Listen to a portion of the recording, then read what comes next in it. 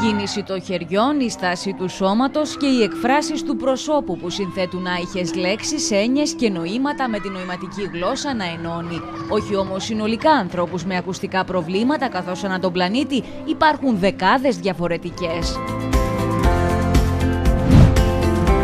Αυτό το κενό επιχειρεί να καλύψει το ερευνητικό πρόγραμμα που χρηματοδοτούν οι Βρυξέλλες και υλοποιούν ακαδημαϊκά ιδρύματα από πέντε χώρες, ανάμεσά τους η Ελλάδα και το Ελληνικό Μεσογειακό Πανεπιστήμιο της Κρήτης. Έχουμε συγκεντρώσει ε, την υπάρχουσα κατάσταση σε πέντε διαφορετικές χώρες από τους πέντε ε, μετόχους αυτής της εργασίας, οπότε έχουμε εκδώσει ένα βιβλίο όπου βλέπουμε τι προβλήματα υπάρχει σε κάθε χώρα και πώς μπορούμε να τα λύσουμε και μετά έχουμε φτιάξει μαθήματα και για τους κουφούς και για τους μη κουφούς ώστε να μπορούν να μάθουν και να διδαχθούν την διεθνή νοηματική γλώσσα.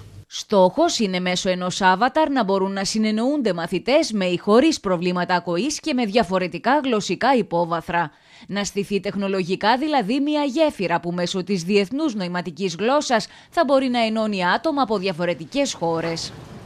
Το δημιουργήθηκε από έναν διδακτορικό μας φοιτητή, τον ε, Κώστα τον Κορναράκη, ο οποίος είναι κουφός.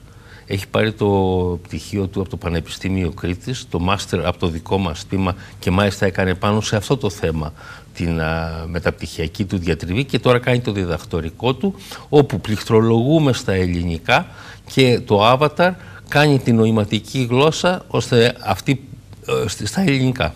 Το πρόγραμμα είναι πιλωτικό και μέσα από αυτό αναπτύσσεται μια σειρά μαθημάτων με τον εκάστοτε ομιλητή να μπορεί να γράψει μια πρόταση η οποία ερμηνεύεται στη νοηματική. Όπως είναι η διάδοση της διεθνούς νοηματικής γλώσσας με ένα ευκολότερο, καινοτόμο και τεχνολογικά προχωρημένο τρόπο.